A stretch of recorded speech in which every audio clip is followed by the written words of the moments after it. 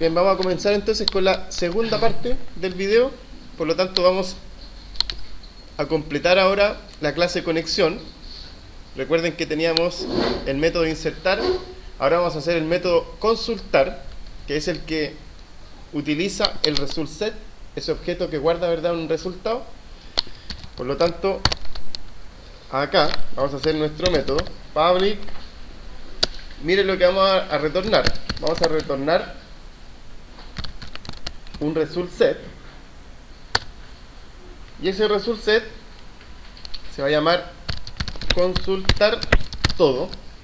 Después si quieren ustedes hacer un consultar específico lo pueden hacer. Pero este se va a llamar consultar todo.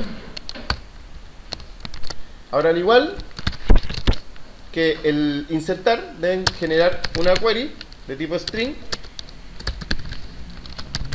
Select asterisco from persona. Ya.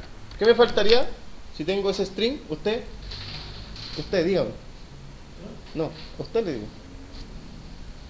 Sí. Gracias.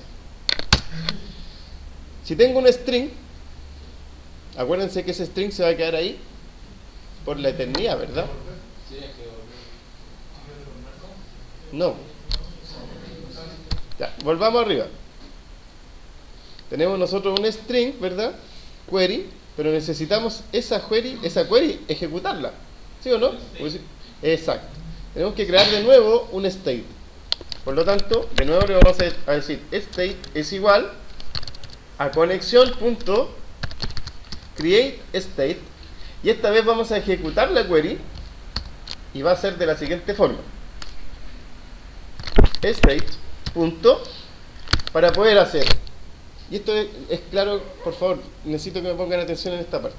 Cuando ustedes quieren insertar, cuando quieren borrar y cuando quieren ejecutar, cuando quieren, perdón, actualizar, siempre tienen que ejecutar el método execute update.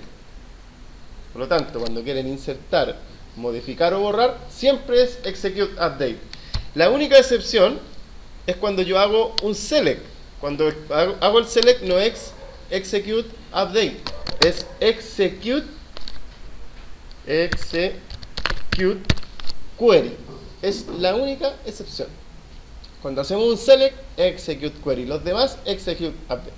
Por lo tanto, fíjense el execute query lo que me retorna. ¿Qué me retorna? Un result set. Ahora, un result set no es solamente decir es un resultado. No un result set es una tabla multidimensional que tiene filas y columnas. Cuando ustedes hacen un select, si lo hacen en el SQL Manager o acá en el PHP MyAdmin, se dan cuenta que cuando hacen un select como que muestra una tabla, ¿verdad? Que tiene filas y columnas. Esa misma tabla se guarda dentro del result set como si fuera un arreglo.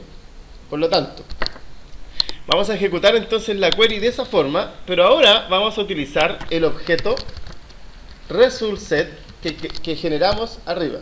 Acuérdense que el res es un result set, ¿cierto? Ya.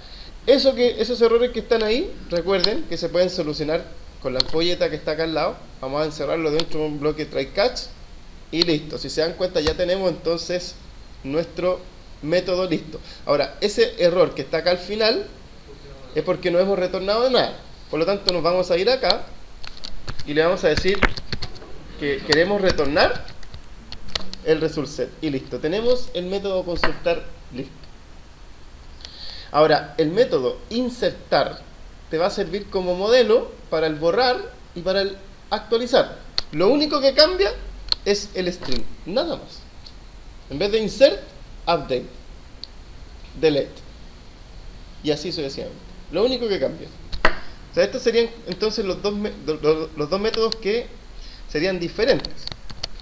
Por lo tanto, nos vamos a ir acá ahora al persona. No, perdón, al, eh, vamos a crear mejor una vista nueva. Acá. Y le vamos a llamar consulta.jsp, finalizar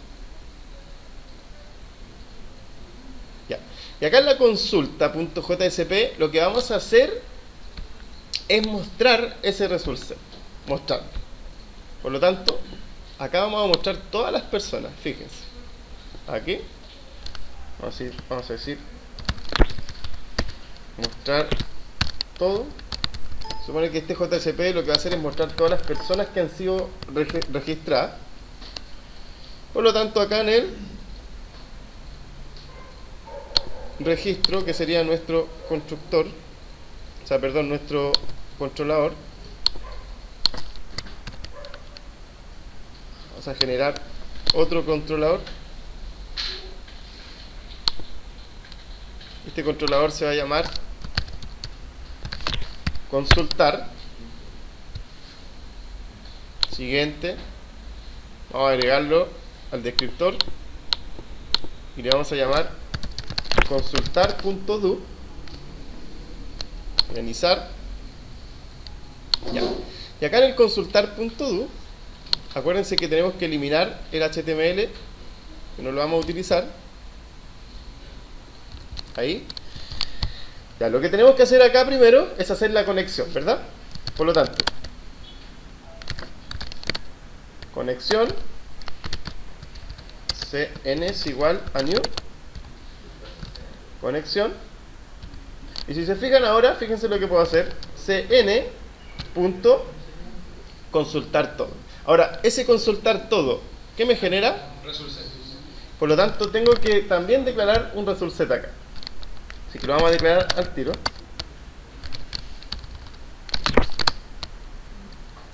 Result set.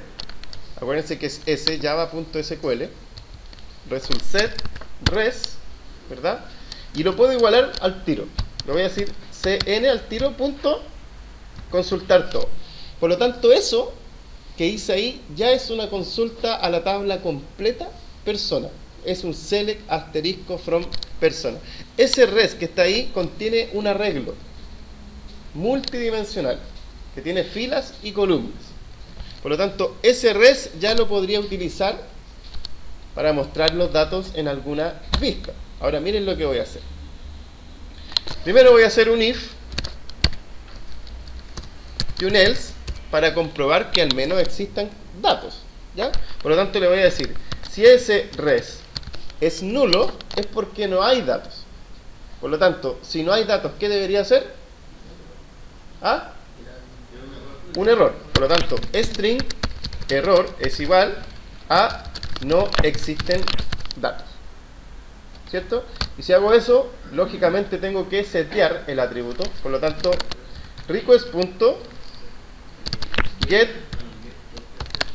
get session, ¿verdad? Punto set attribute bajo el nombre de error y luego de eso request punto get request dispatcher y a dónde lo vamos a enviar error.jsp, ¿cierto? Punto forward. Ya. En el caso contrario, hay, ¿cierto? En el caso contrario, hay campos. Por lo tanto, lo que voy a hacer acá es un array list. Fíjense lo que voy a hacer. Array list son, son varias personas, ¿cierto? Las que me, me debería traer el result set. Por lo tanto, miren lo que voy a hacer. Voy a hacer un array list de tipo persona. De tipo persona se va a llamar el array list personas es igual a new array list.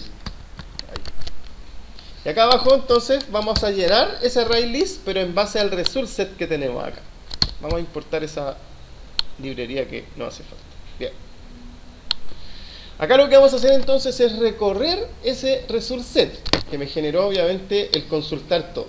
Por ejemplo si yo hago consultar todo y tiene mil filas yo tendría que recorrer esas mil filas, ¿verdad? Para llenar ese array list.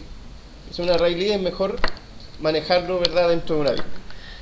Y para recorrer ese result set, basta con hacer un while y decirle while result. Con eso recorren automáticamente todos todas las filas que estuvieron. Ahora, eso es porque no se ha manejado la excepción, por lo tanto, voy a encerrarla de- dentro de una sentencia try catch. Ya. Si es que yo voy a, voy a ir, ¿verdad? Recorriendo ese result set, yo lo que quiero hacer es llenar ese array list, ¿verdad? Para poder despacharlo alguna vista. Por lo tanto, lo que voy a hacer es llamar entonces a personas, ¿verdad? Y voy a agregar elemento por elemento, fíjense. Con ese método add, ¿qué es lo que puedo agregar dentro? Una persona. Y como son varias filas, voy a agregar varias personas. Fíjate. Persona.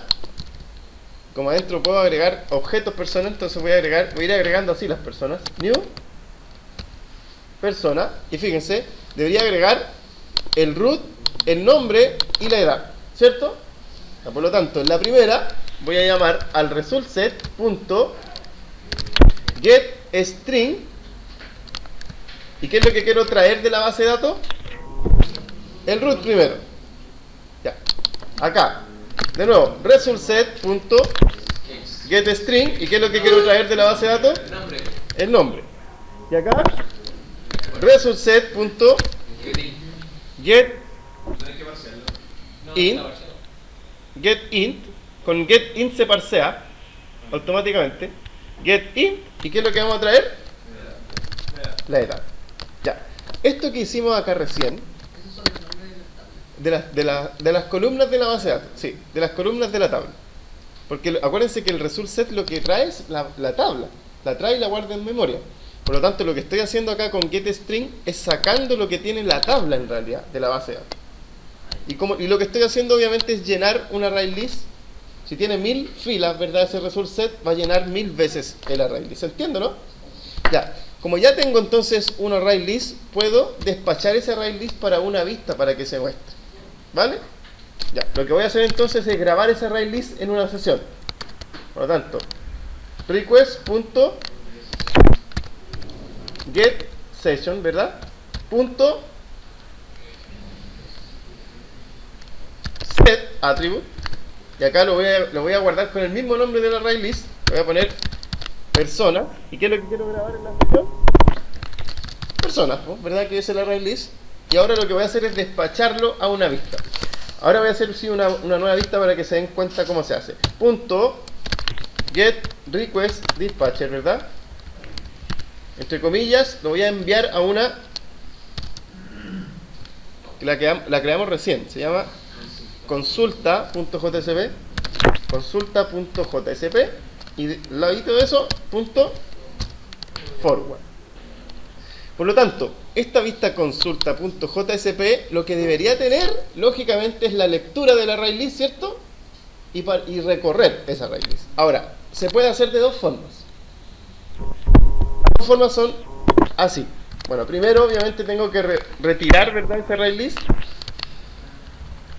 de la sesión. Por lo tanto, miren lo que voy a hacer. Array list, ¿verdad? De tipo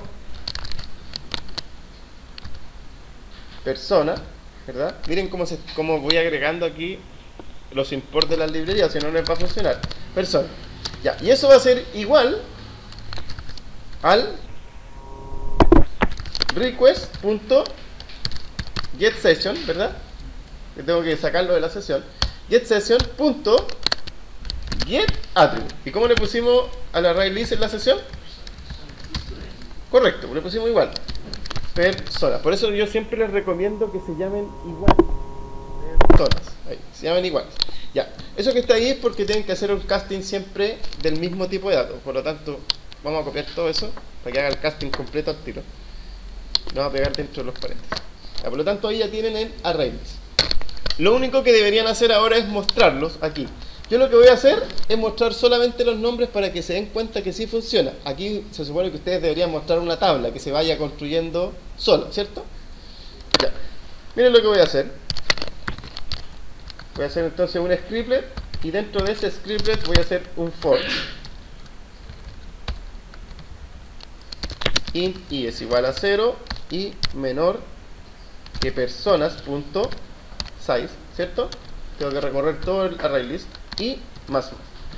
Y dentro de eso lo que voy a hacer es imprimir solamente los nombres para que se den cuenta que funciona. Punto print ln y dentro, dentro voy a imprimir párrafos, por ejemplo. Voy a decir nombre, dos puntos. Como quiero mostrar los nombres, voy a concatenarlo ahí. Personas, ¿verdad? Punto. Punto get. Punto get y, ¿verdad? Punto get number. Ahí lo que voy a hacer entonces es mostrar todos los nombres que tenga el array list. O sea, si ese array list tiene mil personas, ¿cuántas veces se va a repetir este for? Mil veces. Y como cada índice va a ser un nombre distinto, entonces voy, voy a imprimir un nombre. Y basta con eso. Fíjese. Le damos play, fíjese cómo se llama el consultar. Primero tienen que llamar al consultar. Este se llama consulta.jsp. Fíjate el error que va a arrojar si es que yo ingreso a consulta.jsp al tiro. Claro, si yo pongo aquí consulta.jsp al tiro, va a arrojar un error porque estoy intentando, acá arriba, estoy intentando utilizar un array list que está nulo. ¿Por, ¿por dónde debería pasar primero? Por el controlador, ¿cierto? Por el controlador. ¿Y el controlador cómo le pusimos? Consultar.do. ¿Se acuerdan? Ya. Si nosotros no pasamos primero por el controlador, ¿cuándo va a llenar el array list? No se llena nunca, ¿sí o no? Por lo tanto acá vamos a poner consultar.do. Le damos un enter.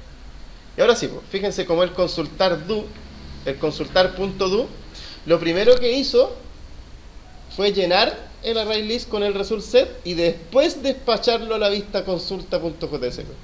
Si ustedes entran directamente a la vista, nunca se llenó el array list, ¿sí o no? Ya.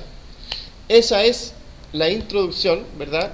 Del método consultar. Ahora, ustedes podrían hacer también otra forma para poder consultar, que es más básica todavía. Solamente tienen que llenar en el controlador un array list y luego utilizar una librería que se llama JSTL, que también va a entrar dentro del examen transversal. Por lo tanto, nos vamos a ir acá, donde dice librería, y vamos a arrojar acá, agregar librería, y vamos a arrojar la librería que dice JSTL, la vamos a encontrar ahí, JSTL, importar, agregar librería. Aquí agregamos la librería JSTL. ¿eh? Fíjense cómo se agregaron dos packages, ¿verdad? Que vienen dentro con varias librerías. Y ahora vamos a poder utilizar JSTL. Ahora, ¿dónde puedo encontrar JSTL? Ustedes lo van a encontrar aquí en Windows.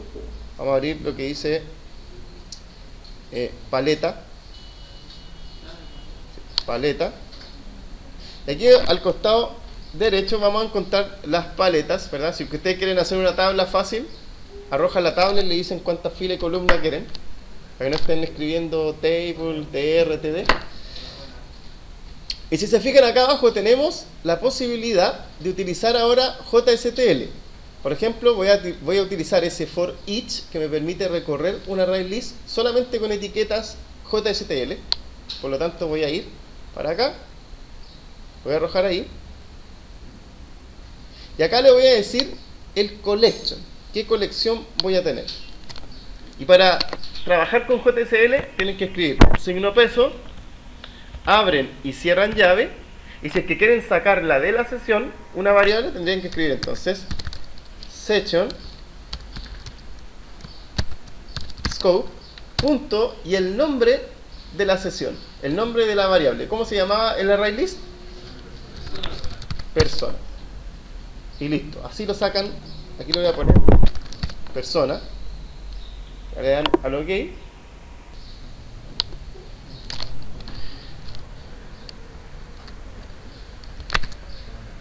A lo mejor lo voy a imprimir aquí al tiro.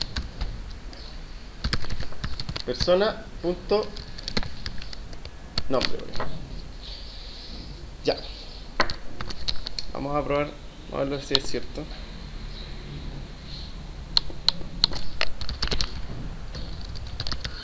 consultar.do fíjense cómo acá estoy imprimiendo todos los nombres ya, les voy a explicar este trozo de código Bueno, este for each que ven acá, lo que hace es recorrer el array list personas que está dentro de la sesión, ¿verdad? Así se obtiene utilizando JSTL. Si ustedes no adjuntan la librería JSTL, no les va a funcionar. Por lo tanto, la adjuntan primero y luego la sacan de la sesión de esta forma. El array list se llama persona. Si ustedes en el atributos, en el atributo le pusieron personas, tienen que poner aquí el mismo nombre que le pusieron al set attribute. Esa variable que ven acá, persona, si, si ustedes le ponen por ejemplo aquí p, también sirve y es una variable distinta al array list. Es como si ese array list que está en la sesión lo estuvieran guardando en ese array list llamado p. Por lo tanto acá deberían decir p.nombre. Así obtienen, no es necesario poner get nombre, por ejemplo. Ni tampoco poner el índice, lo recorre de forma automática.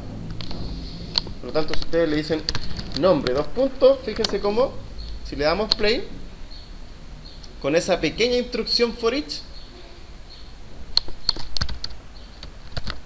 consultar.do va a imprimir el nombre. Si ustedes quieren imprimir el apellido, lo pueden hacer aquí mismo. Fíjense, solamente con la instrucción, con la expresión JSTL, que es de esta forma. Fíjense, voy a imprimir el root también. Root, dos puntos, signo peso, abro y cierro llaves. Y le voy a decir entonces p.root y listo, se van a imprimir todos los roots. Fíjense cómo si le doy play ahora y llamo al consultar.do, entonces me imprime todos los roots. Por lo tanto, very easy. ¿Alguna pregunta? Dígame. A esa, ¿ya? le va a tirar el error, sale un nombre, es igual a... Sí, pero es que en este caso, si te fijas, yo estoy sacando un array list que está en una sesión. El que grabó ese array list en la sesión es el controlador, entonces tú no puedes pasar directamente al JCP. ¿Hay otra, alguna otra consulta? ¿Usted, señorita, alguna consulta?